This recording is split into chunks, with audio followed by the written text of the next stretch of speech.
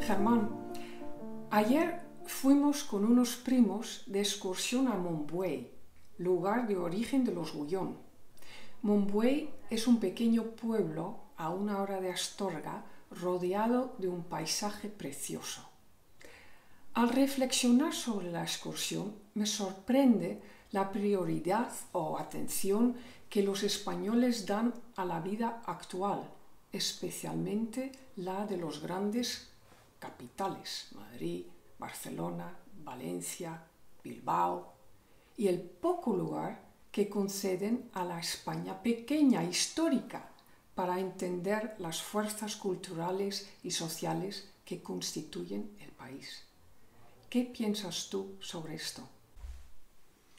Eh, bueno, estoy totalmente de acuerdo ya sabes que es otro de los temas que nos recurrentes, ¿no? Sí. Eh, hay una e, España es un país muy cerrado sobre sí mismo, eh, muy cerrado.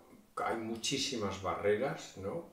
La barrera idiomática, el castellano, eh, los españoles han tendido a encerrarse dentro de su propio idioma y eh, son poco dados a aprender otros idiomas, aunque eso está cambiando naturalmente, eh, pero mm, es un hecho, ¿no? Es un hecho que aquí se doblan las películas, etc. Pero mm, lo que me sorprende todavía más y creo que tiene que ver con esta especie de aquello que ocurrió durante la transición, ¿no? aquello de las películas de Almodóvar y tal, de repente vino sobre España una especie de capa de modernidad que tapó lo que la historia de España y era como si viviéramos en ese presentismo, presente permanente, ¿no?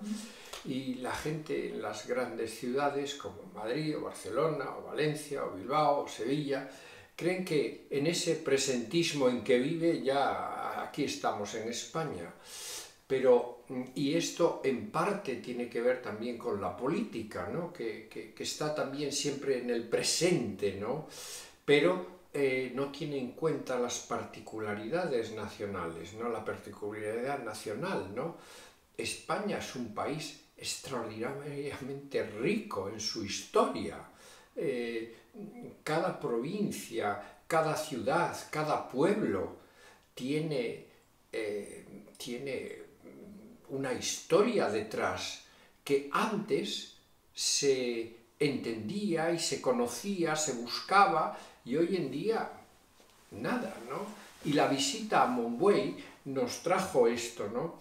Eh, esta, mm, esta presencia ¿no? en un pueblo eh, lleno de historia. Pero recuerdo también de Max Aup en La gallina ciega, en sus memorias de cuando vino a España, eh, vino a España después de estar exiliado en México y vino y tenía la idea de que iba a conocer España y que iban a reconocer sus libros, en fin, él no había estado aquí, había sido un trasterrado, pero se marchó al cabo de poco tiempo diciendo, bueno, en España la gente no solo le interesa lo español, yo, lo mío no le interesa absolutamente nada. Y ese es un fenómeno ¿no? que se ha ido superponiendo dentro de una capa de la sociedad española eh, y a partir de la transición, pero luego la realidad histórica ha desaparecido.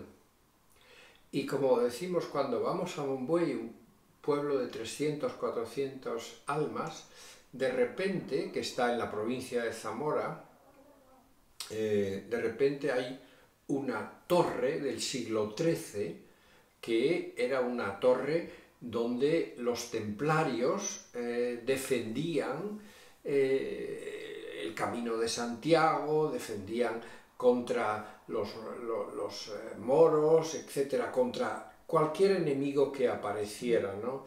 Eh, por supuesto, ya esto de, las cruzadas y todo eso, la razón de por qué existían las cruzadas, yo creo que ya casi nadie lo sabe.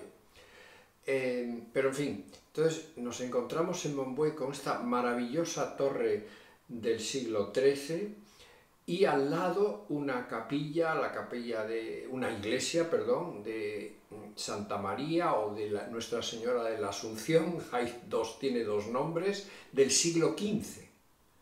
Impresionante. de un románico precioso y que está restaurada y, en fin, con un artesonado maravilloso, una iglesia, una, una Virgen Santa María que descubrieron al renovarla del siglo XIII, ¿no? puro románico, una preciosidad. ¿no?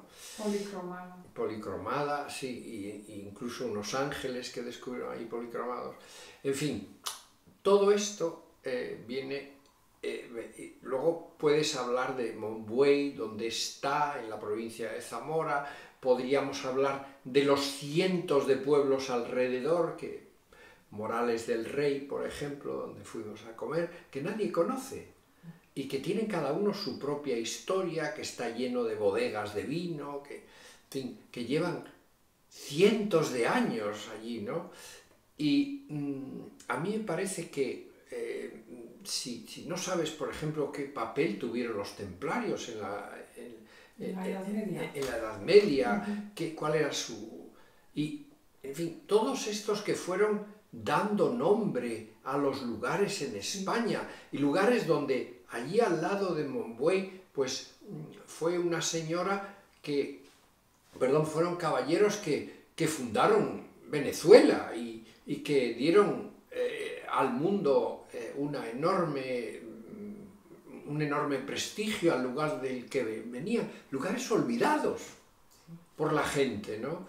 Entonces, y eh, hablamos de, de Monbuey, de Zamora, podíamos hablar de León, podíamos hablar de Castillo de los Polvazares, de esa, Somoza, eh, Santa Colomba de Somoza, podríamos hablar de infinidad en Cantabria, podríamos hablar en el País Vasco, eh, en, todo, en toda la geografía española, ¿no? en Asturias, qué significa Riondas, qué es Cangas de Onís, etc. Y así en el sur, ¿no?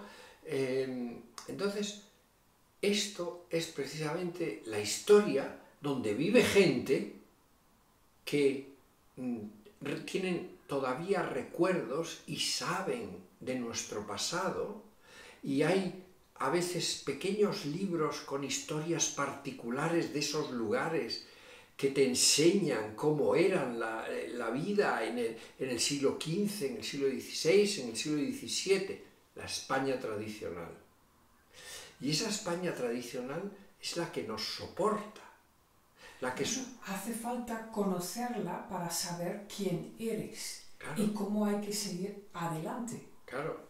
Y muchas veces, si eres de un sitio de estos, de la España tradicional, cómo era tu familia, cómo son tus amigos, cómo te relacionas con ellos, porque claro, cuando vas a la ciudad, eso desaparece. La ciudad no conoces a nadie. Mejor dicho, las relaciones son muy otras. Entonces, esa es la... Tienes que conocer la historia para saber de dónde vienes, a dónde vas y dónde puedes apoyarte. Mientras que los políticos lo que quieren es que estés por encima, como, como hicimos después de la transición, ¿verdad? Aquella cosa de, de Madrid, ¿no? De se ponía a fumar un cigarrillo, ¿no? Era el presentismo total que borró la historia. Y entonces ahora mm, los españoles pues están un poco huérfanos de su propia historia, porque prefieren el sol y playa a conocer su propio país. Entonces yo creo que esto es muy importante, conoce tu país. Estoy muy de acuerdo contigo y además es maravilloso ir por los pueblos de España, maravilloso. Sí, todos tan distintos y tan variados, ¿no? Efectivamente. Eh. Pues muchas gracias, Germán.